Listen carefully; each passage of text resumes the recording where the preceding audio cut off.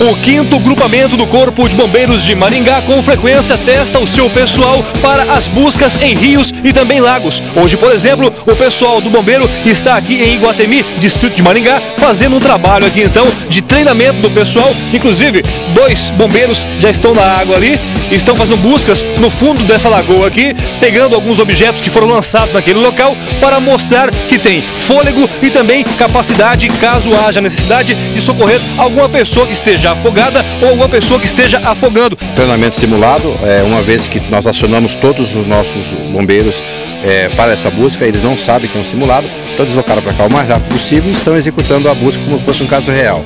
É, visa é, medir a nossa capacidade, medir a nossa capacidade de pronto emprego, para que executamos bem o trabalho caso tenha demanda para isso.